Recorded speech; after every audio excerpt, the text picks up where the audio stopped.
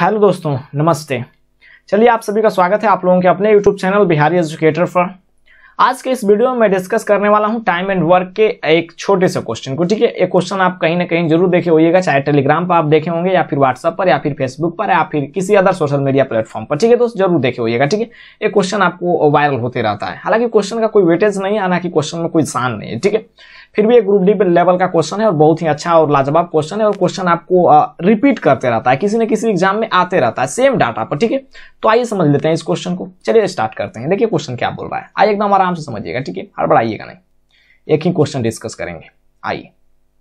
बोल रहा है कि यस, टी तथा यू एक कार्य को, एक कार्य को क्रमशः चालीस, अड़तालीस तथा साठ दिन में पूरा करते हैं ठीक है?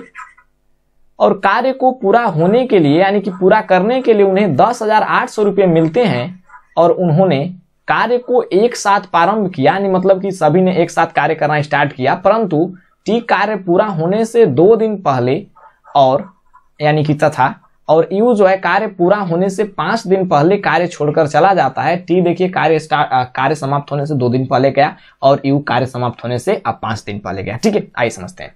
चले गए। तो बोला है कि यश ने शेष कार्य को अकेला पूर्ण करता है तो निर्धारित राशि में से यश का भाग यानी कि रुपयों में कितना होगा? समझिए। बहुत ही बढ़िया क्वेश्चन है। आइए समझते हैं। एकदम आराम समझिएगा। कोई हड़बड़ी नहीं, कोई दिक्कत नहीं। ठीक है दोस्त, आइए। देखिए क्वेश्चन क्या बोल रहा है। यश है टी है और यू है। यश ले रहा है चालीस दिन और टी ले रहा है अड़तालीस दिन और यू ले रहा है आपका सिक्सटी डेज़ आपको क्या बोले थे कि टाइम एंड वर्क में जो भी डे दिया रहे, जो भी आपको टाइम दिया रहे, उसका लीजिए एलसीएम और मान लीजिए कि this is the total work जैसे हमने एलसीएम ले लिया। किसी एक संख्या को ले लीजिए और उसको फैक्टराइज करके उसमें सारे संख्याओं को खोज लीजिए, वही एलसीएम होता है। जैसे सीखिए। एलसीएम निकालना, हालाँकि कई बार मैं बता चुका हूँ, ठीक है? चालीस ले लिए तो हम लिख दिए आठ, पाँच चालीस। अब इसमें अड़तालीस खोजिए तो आप कहेंगे कि आठ तो मिल रहा है, लेकिन छह नहीं मिल रहा है तो आठ, छह का अड़तालीस हो गया। तो बिल्कुल हो गया। अब इसमें साठ खोजिए। तो छह तो मिल रहा है, लेकिन दस नहीं मिल रहा है, क्योंकि जब साठ का आप फैक्टर कीजिएगा तो दस मल्टीप्लाई बाई छह हो जाएगा। तो यहाँ पर देखिए, आठ तो मिल रहा है यहाँ पर, लेकिन आठ में दो भी फैक्टर है। अरे, आठ का फैक्टर दो है तो आप कहेंगे बिल्कुल, दो मल्टीप्लाई बाई पाँच नहीं, दस मिल गया तो आप कहेंगे बिल्कुल। तो दस मल्टीप्लाई बाई कि साठ हो गया। आप जिस मर्ज़ी से चाहें, उस मर्ज़ी से एल्सियम निकाल सकते हैं। आइए एलसीएम जब निकल गया तो आइए इफिशियंसी निकाल लेते हैं इसी लगले। ठीक है तो छह क्या, कितना हो जाएगा? आठ पाँच चालीस तो बच जाएगा छः अड़तालीस तो हो जाएगा पाँच। साठ तो हो जाएगा आपको साठ। इसको कैलकुलेट कर लीजिए ना 240 हो गया तो छह चौके चौबीस आपका चार हो गया। ये हो गया एफिशिएंसी एफिशिएंसी कैसे निकालते हैं? तो टोटल वर्क में हम लोग डे से डिवाइड कर देते हैं, वही हो जाता है आपका एफिशिएंसी ठीक है? आइए। अब कार्य को समझिए, एकदम बढ़िया से समझना। कार्य जो है, इस पॉइंट से जहाँ मैं आपको पीला कलर कर रहा हूँ, यहाँ से लेकर यहाँ तक करवाना है। लेकिन टी जो है, दो दिन पहले कार्य समाप्त होने से भाग गया। यानी टी जो है, दो दिन पहले यहाँ, दो दिन अभी कार्य करना को बाकी था, लेकिन टी जो है भाग गया। और उसी प्रकार से यू जो है, पाँच दिन पहले ही भाग गया, और यू जो है, पाँच दिन पहले ही भाग गया। आइए, अब समझिए। मेरे दोस्त, एकदम आराम समझना। टी जो है, दो दिन पहले भागा है तो दो दिन पहले अगर नहीं भागा होता कार्य समाप्त होने से तो कितना काम करता? तो आप कहेंगे कि पाँच के एफिशिएंसी से टी काम कर रहा है तो पाँच दुना के दस काम कर देता। लेकिन मेरे दोस्त, भाग गया है तो दस काम तो अभी करना बाकी ही रह गया।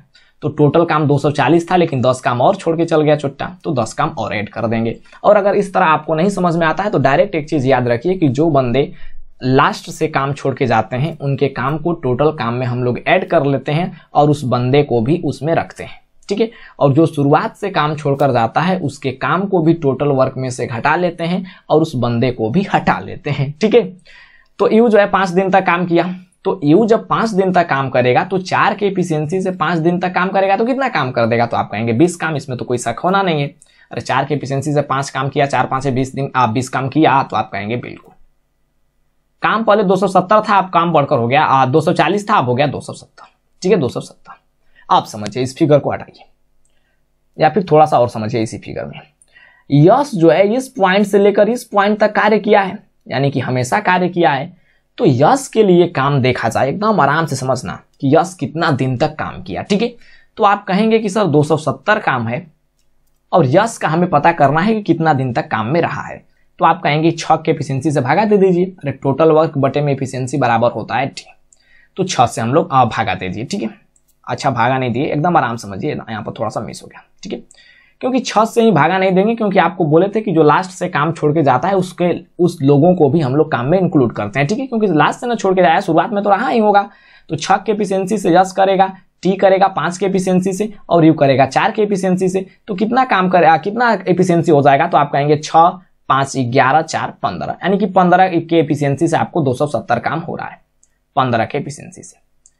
तो कितना हो जाएगा? पंद्रह एकम पंद्रह बस गया बारह, पंद्रह आठ एक सौ बीस, यानी कि अट्ठारह दिन तो यश तो मेरे भाई पूरा दिन तक ना काम किया है, यहाँ से लेकर यहाँ तक, यानी इस पॉइंट से लेकर इस पॉइंट तक तो आप कहेंगे बिल्कुल। तो यश जो है अठारह दिन तक काम किया। आइए आप समझते हैं, इस इस फिगर को हटा दीजिएगा, जहाँ आपको प्रॉब्लम होगा, बाद में भी आप लोग कमेंट बॉक्स में मुझे कमेंट करके पूछ सकते हैं, ठीक है? एकदम आसानी से समझा रहा हूँ, ठीक है? हालाँकि इतना लिखना नहीं है, आपको डायरेक्ट करना है, ठीक है दोस्त? तो यहाँ पर 18 दिन तक यश जो है काम किया है।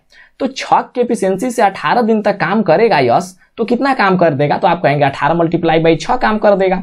तो जब 18 मल्टीप्लाई बाई छ काम कर दिया यश तो टोटल काम का कितना भाग किया? तो आप कहेंगे 18 मल्टीप्लाई बाई छ काम किया आपका टोटल 240 था तो 240 में किया 240 में किया, ठीक है? तो जितना पार्ट काम करेगा, उसी के अकॉर्डिंग हम लोग मजदूरी देते हैं। तो 18 मल्टीप्लाई बाई छः पार्ट काम अठारह मल्टीप्लाई बाई छः बट्टे में 240 पार्ट काम किया, और मजदूरी टोटल कितना है तो टोटल दस हज़ार आठ सौ है तो दस हज़ार आठ सौ में इसको दे दीजिए तो दस हज़ार आठ सौ से गुणा कर दीजिए तो हो जाएगा दस एक कैलकुलेशन आपसे नहीं होगा, बिल्कुल होगा, करने आएगा तब, आइए समझते हैं। सिर्फ़ आपको इतना लिखना था, ठीक है? जितना मैं लिख रहा हूँ, इतना, बस। वो सब तो आपको माइंड में कैलकुलेशन करना था, ठीक है दोस्त? माइंड में। आइए। ये ज़ीरो ज़ीरो कट गया। छह चौके हो जाएगा आपको चौबीस, ठीक है? ये हो जाएगा चार दुना के आठ। चार सात अट्ठाईस, यानी दो सौ सत्तर मल्टीप्लाई बाई अठारह। अठारह सात कितना होता है? तो अठारह सात एक सौ छब्बीस, यानी कि छह कैरी किया बारह। और अठारह दुना के हो जाएगा छत्तीस। छत्तीस बारह कितना हो जाएगा? छत्तीस, सैंतीस, अड़तीस, दस, अड़तालीस।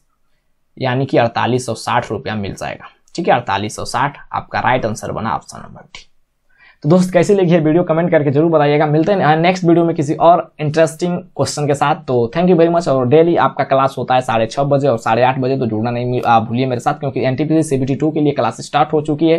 यानी कि प्रीवियस ईयर के जितने भी पेपर हुए हैं मैथ के, ठीक है, उन सारे पेपर को मैं डिस्कस करवाने वाला हूँ इस यूट्यूब चैनल बिहारी एजुकेटर पर, ठीक है। तो सब्सक्राइब करके जुड़ जाए मेरे था थैंक यू वेरी मच ठीक है।